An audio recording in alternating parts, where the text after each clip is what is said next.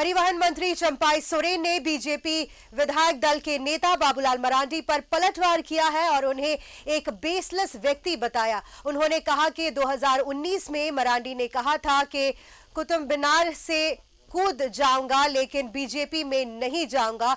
और 2020 में वो फिर से भा, भाजपा के हो गए। बीजेपी ने भी चंपाई के बयान पर प्रतिक्रिया दी है।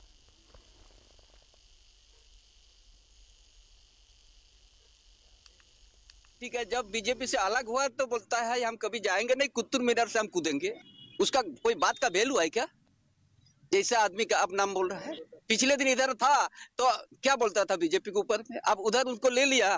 वो तो ये बोलता था, हमको बीजेपी में रखो, झाड़ू मारने भी कम मिलेगा तो हम झाड़ू मारेंगे। वो आदमी का बात पर आपने हमको पूछ रहा है। जिसका बेस नहीं आए वो बेसलेस आदमी आए वो। हम व्यक्तिगत नाराज़ नहीं, उनका करेक्टर को हम बता दें क्या क्या बोलते किया है। व्यक्तिगत कौन चीज़ का होता है? अब उनका बारे में पूछेगा तो उनका उनका यह विचार को नहीं बताएँगे आपको। नहीं तो पूछेगा क्यों हमको? आपका व्यक्तिगत उनको प्रशंसा करने के लिए हमको पूछ रहा है क्या? जब आप उल्टा बात बोल रहा है। भाई, सोरेन जी को बाबूलाल मरांडी जी के बारे में बोलने का कोई हक नहीं बनता है। आज जिस संदर्भ में बाबूलाल जी का बयान है, वो मुख्यमंत्री जी ने जिस तरीके से ईडी के इंक्वायरी के बाद जो भाषण दिया था, वो कहीं से एक मुख्यमंत्री को शोभा नहीं देता है। आज धमकी भरा ले जाओ कि देख लेंगे। किसको देखिएगा मुख्यमंत्री जी? इस राज्य को बनाने के लिए बहुत लोगों ने बलिदान ही दिया था।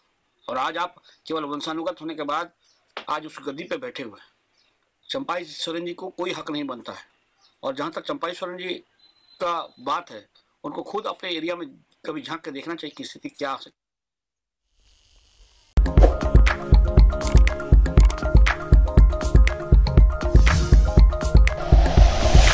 Like and share videos, subscribe करें हमारा चैनल और प्रेस करें बेल आइकॉन न्यूज़ 11 भारत सच है तो दिखेगा।